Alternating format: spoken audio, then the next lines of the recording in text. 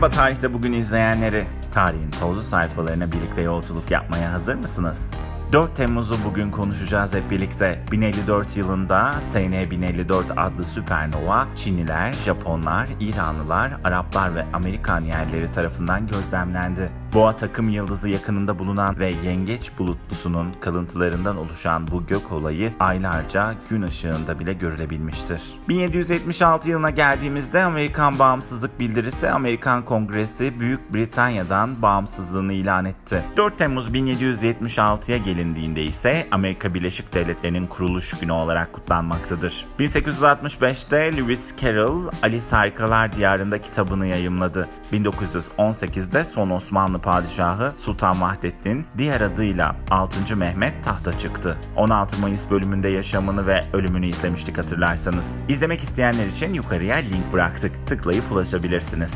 4 Temmuz'a devam ediyoruz. 1932 yılında İçişleri Bakanı Şükrü Kaya otomobiliyle Ankara'dan İstanbul'a giden ilk kişi oldu. 1934'te Macar fizikçi Leo Szilard ileride atom bombasının yapımında kullanılacak olan zincirleme reaksiyon modelinin patentini aldı. 1946 yılında Ankara Üniversitesi kuruldu. Atatürk ilke ve inkılaplarının dayanaklarını oluşturmak, bu ilke ve inkılapları yurt geneline yaymak, kökleştirmek ve çağdaşlığın, bilimin ve aydınlığın ifadesi olan bu değerlerin Yılmaz savunuculuğunu yapmak üzere temeli bizzat Gazi Mustafa Kemal Atatürk tarafından atılmıştır. 1997'de NASA'nın gönderdiği Pathfinder adlı araştırma robotu Mars'ın yüzeyine indi. Bu görev aynı zamanda birçok konseptin ve teknolojinin sorunsuz çalıştığını kanıtlamıştır. Bunlardan bazıları hava yastığı ile iniş sistemi ve otomatik obje kaçınma sistemleridir. Ayrıca Mars Pathfinder, Mars'a yapılan insansız uzay görevlerinde çok düşük bir bütçe ile başarıya ulaşmış olmasından dolayı da önem arz etmektedir. 2012 yılına gelindiğinde ise Tanrı parçacığı keşfedildi. Higgs bozonu da denilen bu mekanizma bilim insanlarına göre parçacıklara kütle kazandırarak atomları meydana getirir.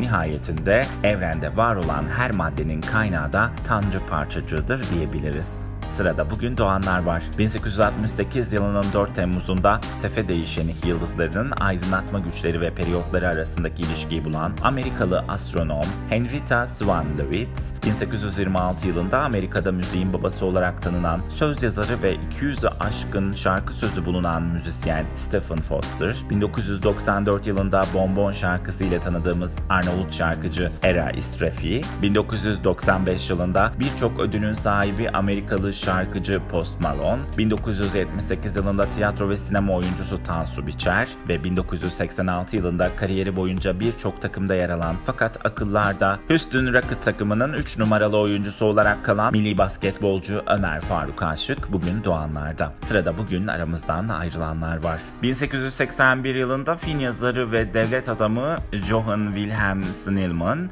1934 yılında Fransız kimyager, Nobel Fizik Ödülü ve Nobel Kimya Ödülü'nün de sahibi Marie Curie, 1995 yılında Amerikalı ressam ve televizyoncu Bob Ross, 2003 yılında Amerikalı şarkıcı Barry White, 2009 yılında Tarzan'ın eşi Jane rolünün sahibi Amerikalı aktris Brenda Joyce, 1546 yılında Osmanlı denizcisi ve kaptanı Derya Barbaros Hayrettin Paşa, 2003 yılında yüksek mimar ve Anıtkabir mimarlarından Ahmet Orhan Arda, 2003 yılında Türk öykü yazarı ve çevirmen Tomris Suyar, 2007 yılında pop ve rock müzik şarkıcısı ve TV dizi oyuncusu Barış Akarsu bugün aramızdan ayrılanlar arasında. Özel günlere bakacak olursak 4 Temmuz'da dünyanın güneşe en uzak olduğu gün yani Afer günü, Amerika Birleşik Devletleri bağımsızlık Günü, Filipin Amerikan Kardeşlik Günü ve Kocaeli'nin ilçesi Karamürsel'in Kurtuluş Günü'nü kutluyoruz. Tarihte bugünden hepinize mutlu günler diliyor. Önümüzdeki hafta farklı bir günde tarihin tozlu sayfalarını birlikte aralamak için sizleri buraya bekliyoruz. Kanalımıza abone olmayı, videomuzu beğenmeyi ve yorum yapmayı unutmayın. Hoşçakalın.